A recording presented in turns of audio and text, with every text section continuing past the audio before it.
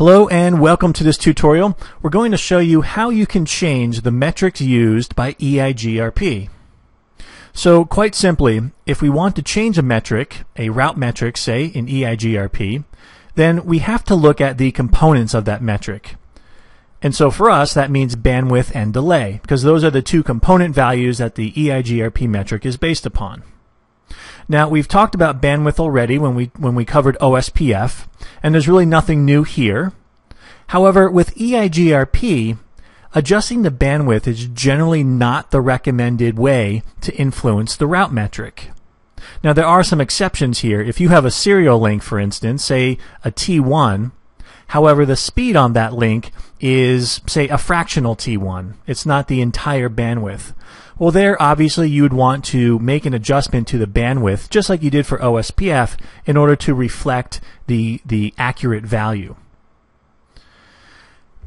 However, for all other purposes, we need to look at the other value, and that's the delay.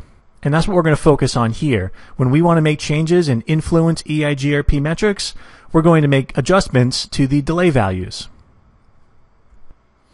So to illustrate this, in our lab we have routers A and B with a serial link between them, and we'll be using the delay command in order to change the metric on router A, serial 000.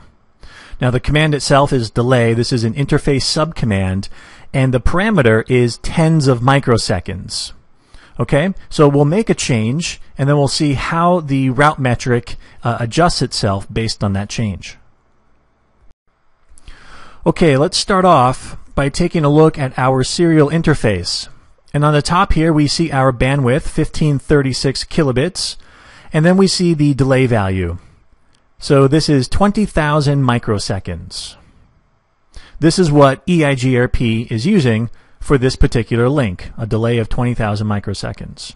Now keep in mind, the command we're going to enter, the parameter, the value for the delay, is in tens of microseconds. So if we wanted to configure 20,000 microseconds, when we actually put the configuration command in, it would be 2,000 because it's tens of microseconds. It's easy to forget the two, and then your configuration uh, turns out to be different than what you expected on the interface. Okay, so let's remember that value. And then let's also take a look at the EIGRP topology table. And you can see we have uh, one route well, we have two. One is connected, the 172.16 route, but the slash 24 is what we're learning from router B. And here you can see the feasible distance, 230.6560, and then right after that, the reported distance, 128.256. Now we'll keep, keep note of those numbers because after we make our configuration changes, the feasible distance should have a new value. So we'll jump into configuration mode. And like I said, this is an interface subcommand. I will show you the parameter, and here it is. And they even remind you this is in tens of microseconds. So they're trying to help us out here. Let's go ahead and make this something very different from what's configured. Let's put in 150 tens of microseconds for our configuration. And that's it. That's the only command we need to enter in order to change our delay value. Now let's take a look at our serial interface. And you can see the delay is 1500 microseconds. So that makes sense. We entered 150 in tens. Now we get 1500. Okay, so now we have a new delay value for the interface. EIGRP is going to recalculate the metric for this route. Let's return to the EIGRP topology table and let's take a look at what we see there. And the feasible distance is now different. When we first looked at it, it was 2306560 and now it's 1832960. So it's quite a bit lower. And that makes sense because we, we lowered the delay value and a lower delay uh, means it's, it's going to be faster right? This is a better route now. So the overall metric, the overall cost for this route is going to go down as well. If we had increased the delay value by quite a lot, then this route would not be as attractive. It's our only one here, so it would still be used.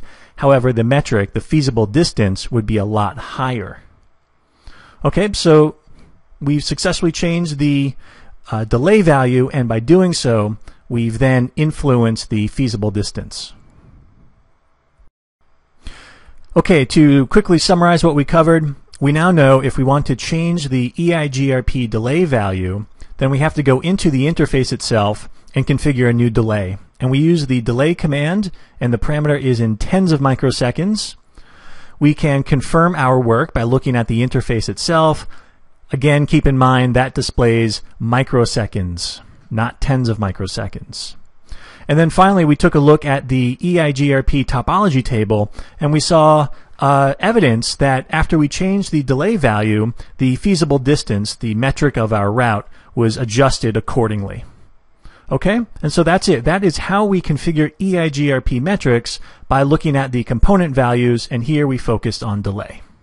Thanks for watching.